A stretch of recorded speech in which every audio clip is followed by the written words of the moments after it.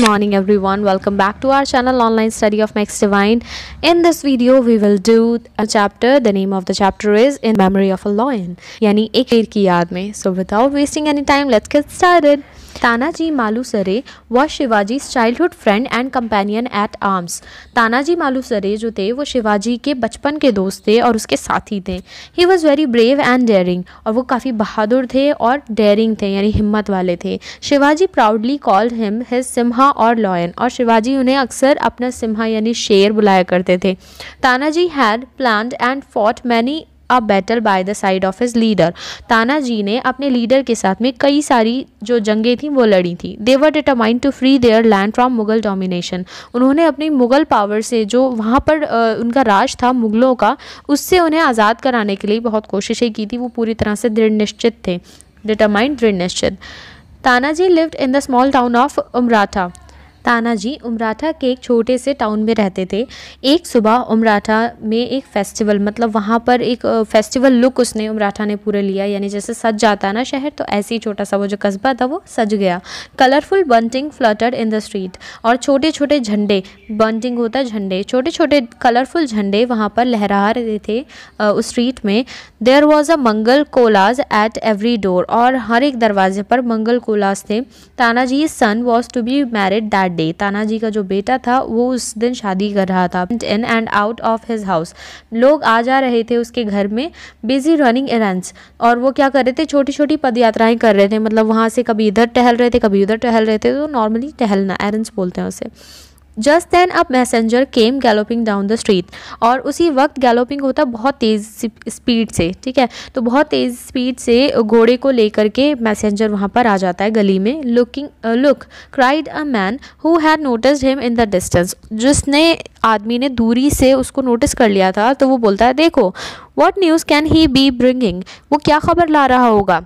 He asked Tanaji's servant who was near him और उन्होंने तानाजी के सर्वेंट से पूछा, जो कि उसी के पास थे। बिफोर द सर्वेंट को रिप्लाई और इससे पहले कि सर्वेंट जवाब भी दे सकता the rider came to a stop in front of them वो जो राइडर था, वो उनके सामने ही आकर रुक गया। He left of his horse और वो अपने घोड़े से उतरा एंड सेड और कहा वेयर इज़ तानाजी? तानाजी कहाँ है? I must see him at one मुझे एक बार उनसे मिलना है। In the house, sir.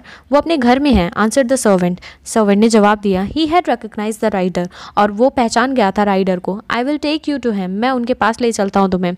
Sure यहाँ श्योर आएगा मिस प्रिंटिंग है। The servant called out servant ने बोला Tanaji and his wife were busy selecting and packaging clothes and ornament for the bride and groom Tanaji और उनकी पत्नी जो थे, वो बिज़ी थे कपड़े और गहने सारे पैक करने में, जो दूल्हा और दुल्हन के थे हु इज़ देयर कौन है यहाँ?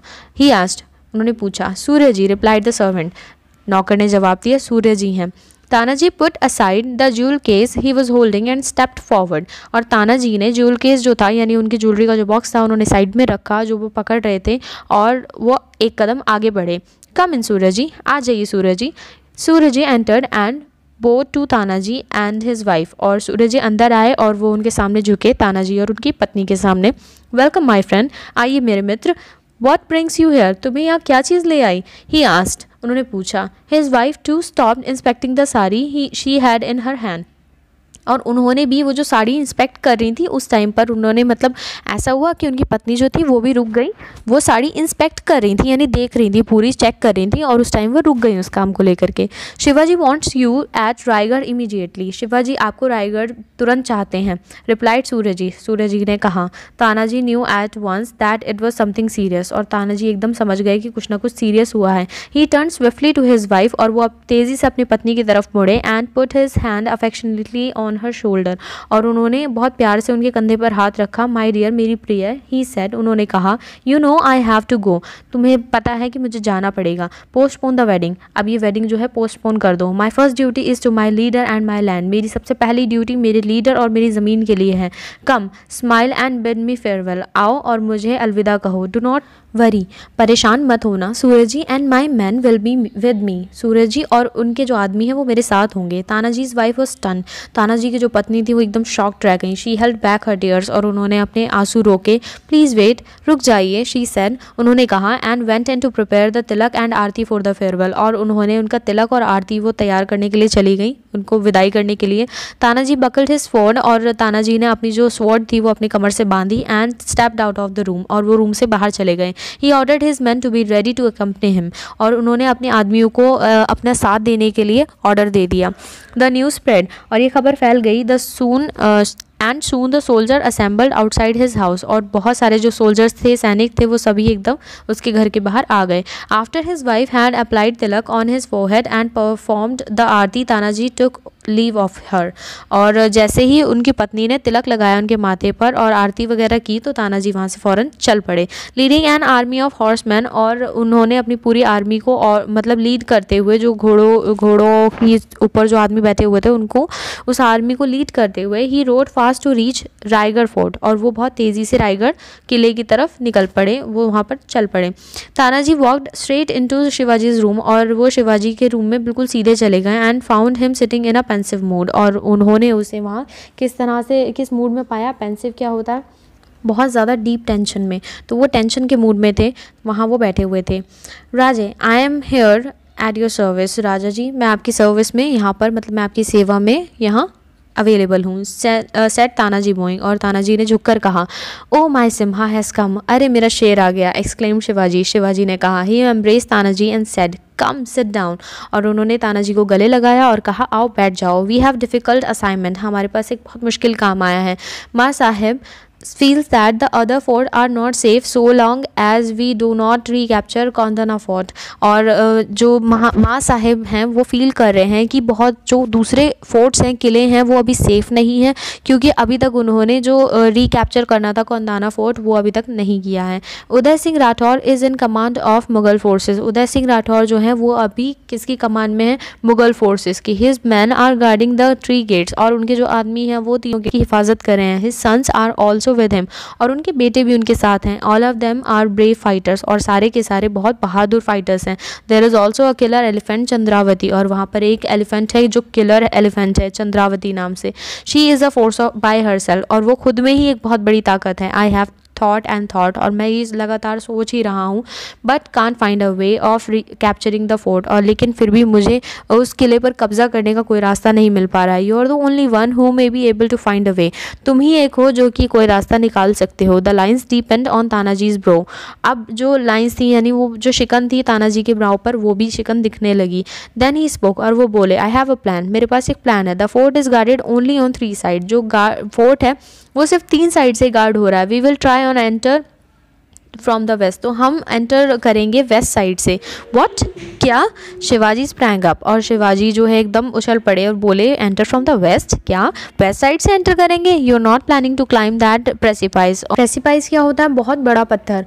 तो तुम कहीं उस बड़े पत्थर पर चढ़ने की तो बात नहीं कर रहे हो? इट इज़ अनअसेलेबल यानी ये बिल्कुल नामुमकिन है, ये इस काबिल नहीं है जो हो पाए। तानाजी सेट कूली और तानाजी ने बहुत आराम से कूली बोला no Raja it is not the way I intend doing it नहीं, इस तरीके से नहीं करने वाला हूँ मैं। He then explain his plan to Shivaji in detail तो उन्होंने अपना प्लान पूरी तरह से शिवाजी को डिटेल से बताया।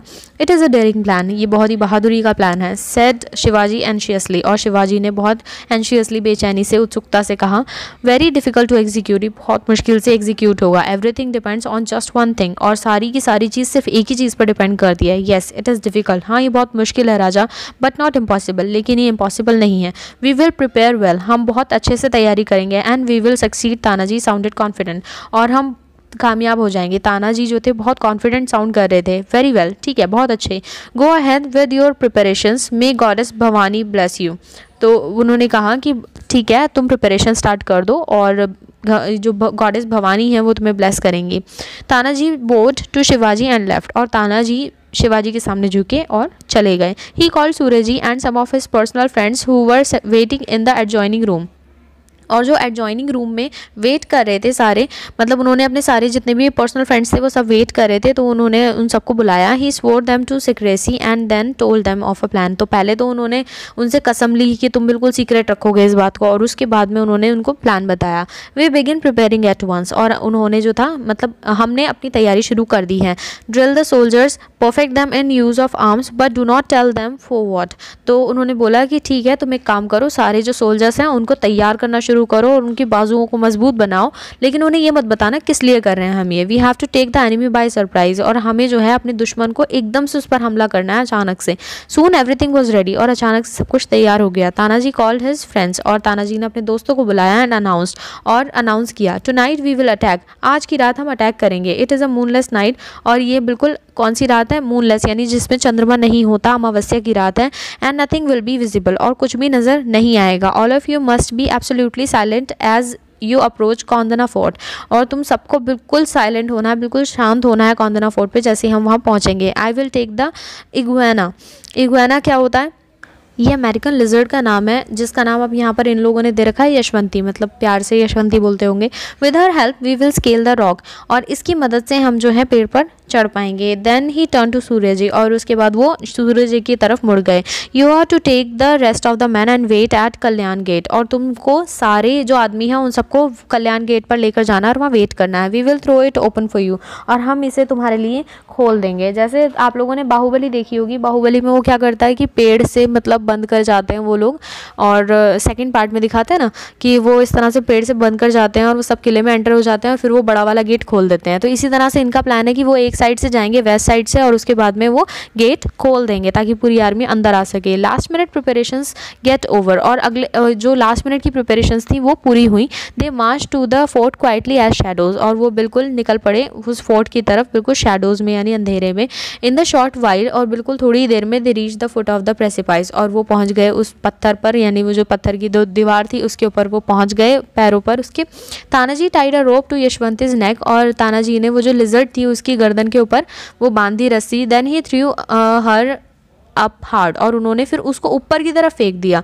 So she could clutch the wall ताकि वो जो है, जो दीवार है उसको अच्छे से पकड़ ले। But the iguana lost her grip and slither down लेकिन जो इगवाना थी, यानी वो लिजर्ट थी, वो अपनी ग्रिप छोड़ गई। यानी उसका जो हाथ था, वो फिसल गया और वो नीचे स्लिप हो गई। स्लिदर्ड होता है स्लिप हो जाना स्लाइड हो गई। ओ it is a sign of bad luck अरे, ये तो बहुत बुरी किस्मत का निशान है exclaimed one of the soldier और उनमें से एक सोल्जर जो था, वो बोल पड़ा, तानाजी वर्ल्ड अराउंड और तानाजी मुड़े हु सेट दैट किसने कहा ये? There is no place for सब superstition in the soldier's life बिल्कुल, किसी भी सोल्जर की लाइफ के अंदर ये अपशगुन शगुन इन सब की बातें बेकार हैं, बिल्कुल, कोई जगह नहीं है इसके लिए। He must only have faith उसको सिर्फ़ भरोसा होना चाहिए इन हिमसेल्फ खुद में और गॉड में।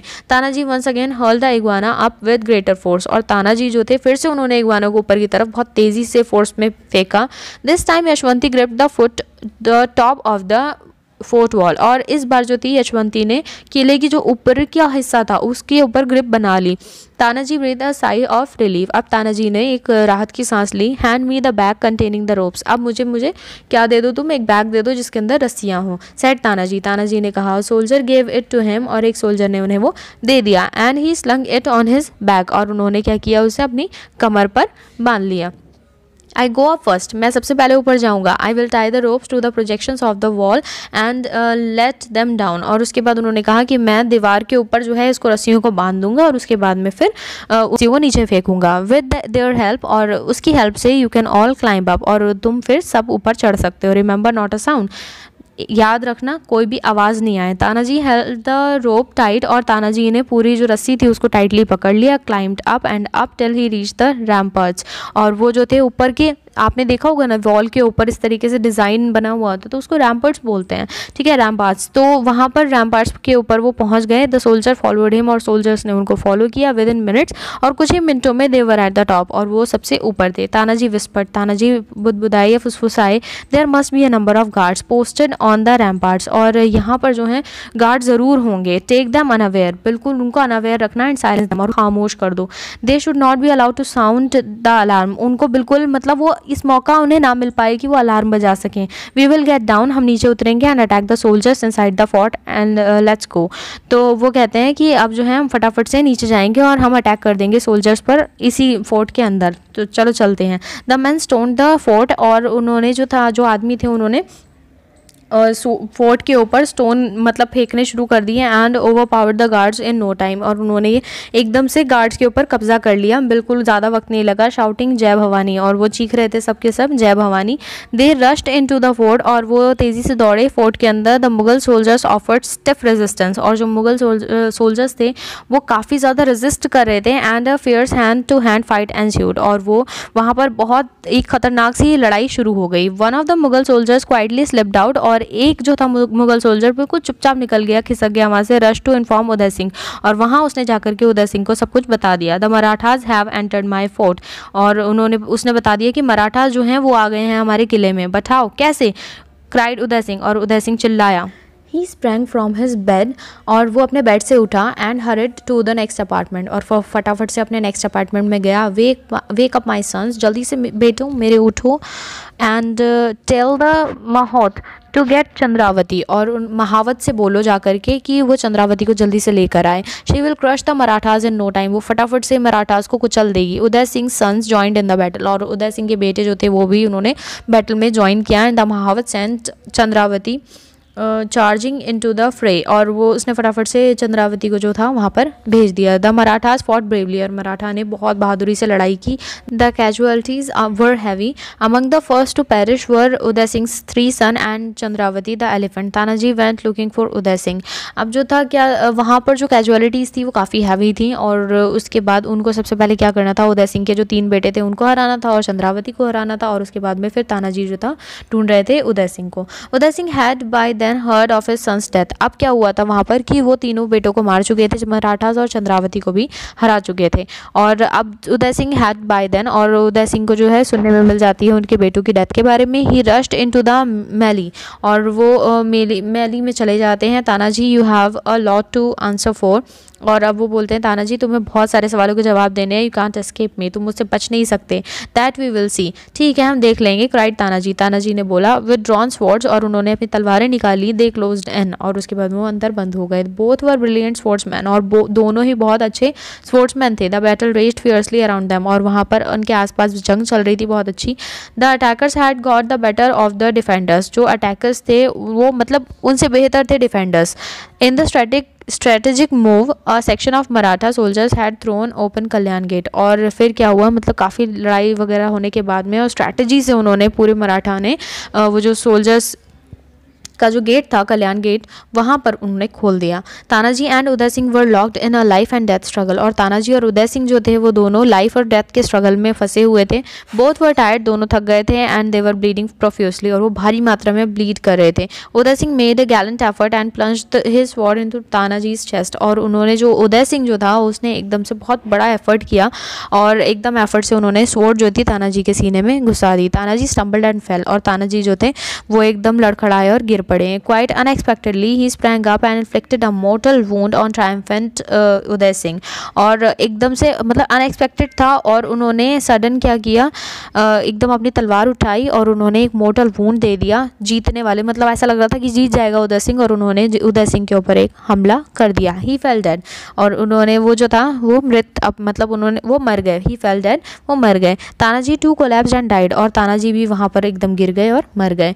All was quiet when Suraj ji enter the fort और सबके सब शांत थे जब सूरज जी अंदर आए। ही रश्ड अराउंड और उन्होंने एकदम सब जगह दौड़ लगाई लुकिंग फॉर तानाजी तानाजी को ढूँढने के लिए। He found him lying in a pool of blood और उन्होंने उसे देखा कहाँ पर, जहाँ मतलब पूरा खून से बना हुआ पूल बन गया था। He knelt to feel his pulse और वो झुके उनकी पल्स देखने के लिए। He looked aghast at his dead friend और वो एकदम से अफसोस के साथ उन्हें देखने लगे कि उनका जो दोस्त था वो मर गया।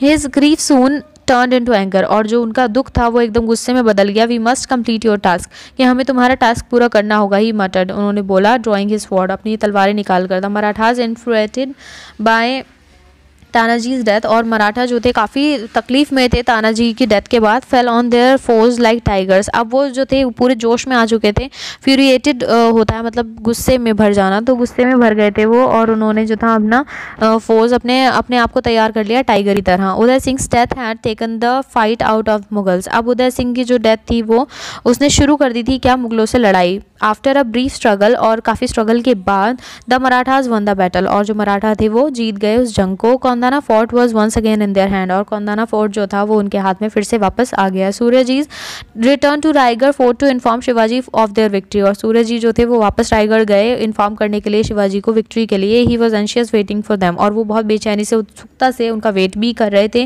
Raja the fort is taken Raja ji fort जो है, हमने कब्जा कर लिया है उस पर सेट सूर्य जी सूर्य जी ने कहा good but where is Tanaji बहुत अच्छे, लेकिन तानाजी कहाँ हैं?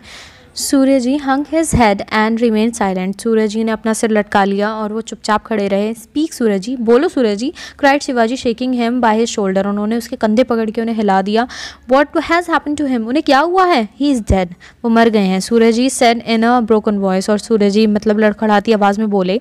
Shivaji face went pale as he mumbled और शिवाजी का जो चेहरा था वो एकदम पीला पड़ गया और उन्होंने बोला the fort is won but my lion is gone जो फोर्ट है, किला है, वो हम जीत गए हैं, मगर हमारा जो लॉयन है, शेर है, वो चला गया है। He turn and walk to the window और वो मुड़े और उन्होंने विंडो की तरफ़ मतलब वो चल पड़े।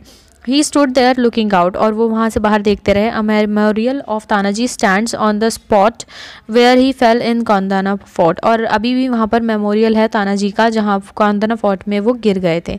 तो ये थी आपकी स्टोरी इसी के साथ मैं बहुत शॉर्टली आपको जल्दी से बता दूँ कि इसके वर्ड्स मीनिंग और क्वेश्चन आंसर्स आपको कॉपी पे करने हैं एक्सरसाइजेस बुक पे करनी है और सारी आपको ग्रुप में अवेलेबल मिल जाएँगी। So yeah that's it and good bye आज की लंबी थी, बहुत ज़्यादा वीडियो बट ये चैप्टर कंप्लीट कराना ज़रूरी था, क्योंकि हमारे एक नवंबर से टेस्ट स्टार्ट हो जाएँगे, यानी सॉरी एग्ज़ाम स्टार्ट हो जाएँगे हाफ़ ईयरली तो उसके लिए आपको प्रिपरेशन करनी है। लर्निंग आप स्टार्ट कर दीजिए।